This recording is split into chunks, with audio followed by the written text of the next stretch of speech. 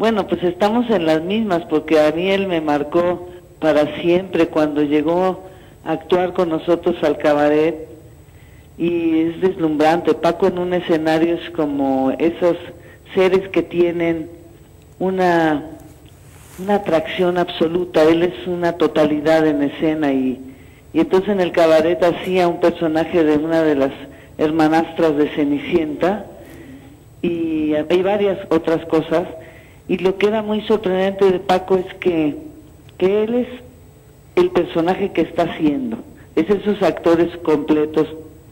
Y a mí eso me, también me marcó para siempre, porque es ver a, alguien que tiene ese el don perfecto y, y además de que bajo el escenario es solo pura diversión y pura alegría y el humor del Paco yo pienso en Paco y pienso en una especie de, de estrella brillante para reírse día y noche. Es decir, no solamente como persona, sino como hombre, como amigo. Eh, digo, el afecto va mucho más allá de la cuestión profesional.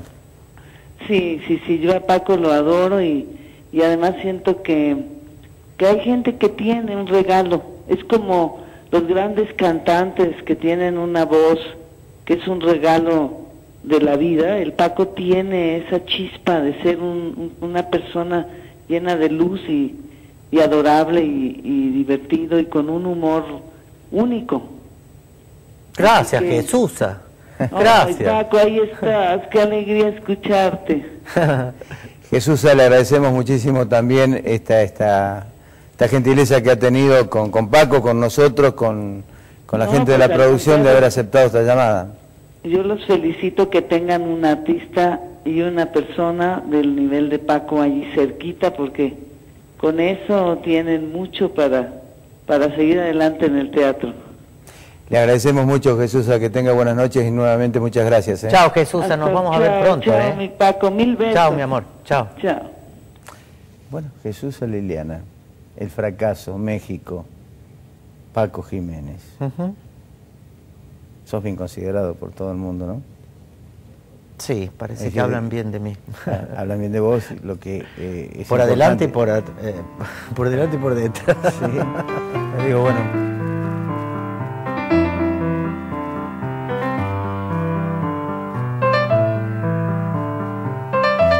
De otra forma. Claro. Y yo allá durante mucho tiempo mm, eh, sabía de Córdoba, pero yo no extrañaba. Hasta que un día vine de visita a los cinco años y dije, ¿por qué estoy allá? Y fue como compulsivo volverme. Pero este, eh, no requiero tanto a mi familia como siento de que ellos me requieren a mí. Y yo no requiero tanto a los actores como siento de que ellos me requieren a mí. Sin embargo, estoy absolutamente abnegado a la cochera, digamos, es, este, es en lo que pongo mi...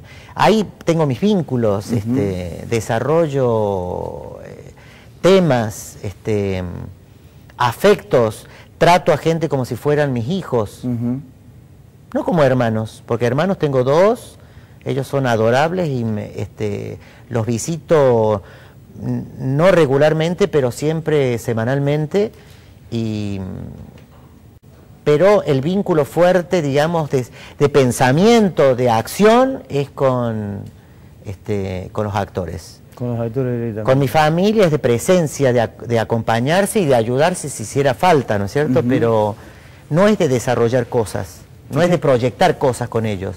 En cambio, con los actores sí. Fíjate, ¿qué opinan? algunos actores amigos tuyos?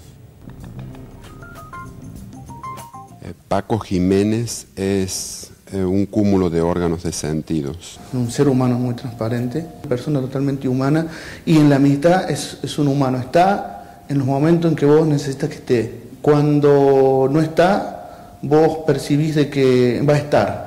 Entonces te da una tranquilidad en la relación. Ojos inmensos, una gran respiración, puro canto, una boca amplia, amplia. y la virtud de poder ocupar los órganos de los sentidos de, un modo eficaz, eh, valiente. Eh, Paco Jiménez es un creador, es un artista y un maestro. La simpleza que tiene para, para llegar a la gente, se encuentra con una persona tranquila. Me parece que Paco ya trascendió la ciudad de Córdoba y ya este, está, digamos, a nivel, a nivel del país como, como persona de la cultura.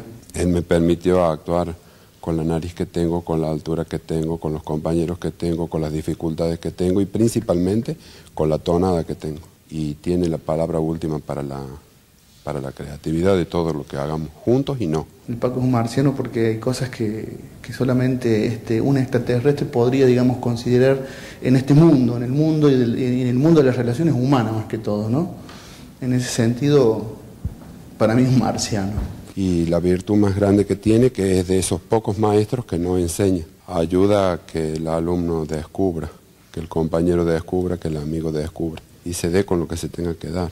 Para la historia del teatro de Córdoba representa un comienzo revolucionario y una continuidad post dictadura de un trabajo representativo y que ha representado a la provincia y al país en, en muchos lugares del mundo. Digamos que, no sé, es el hermano que no tuve.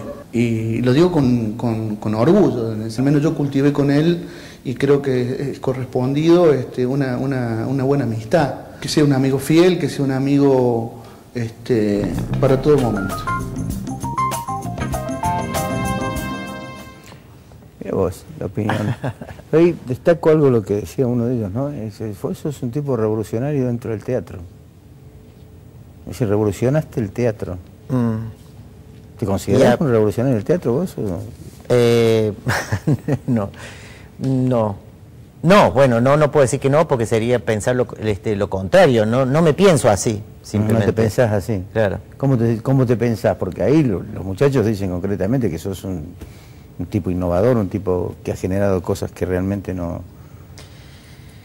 En otro, eh. probablemente en otro lugar no se hubieran aprendido.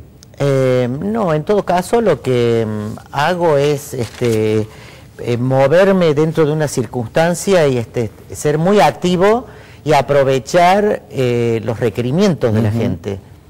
Yo personalmente soy muy perezoso, este, entonces si no provocara a la gente y eso hiciera de que me comprometiera con ellos, sería muy difícil para mí hacer cosas. ¿La, fama, ¿La fama es un accesorio del actor? ¿La fama? Sí. Dicen que es una serie de malos entendidos, mm. la fama. ¿La fama? Sí.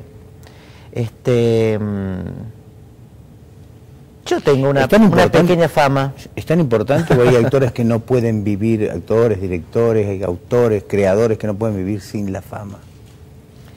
Sin ese momento de golatría que es resaltada por todo el mundo.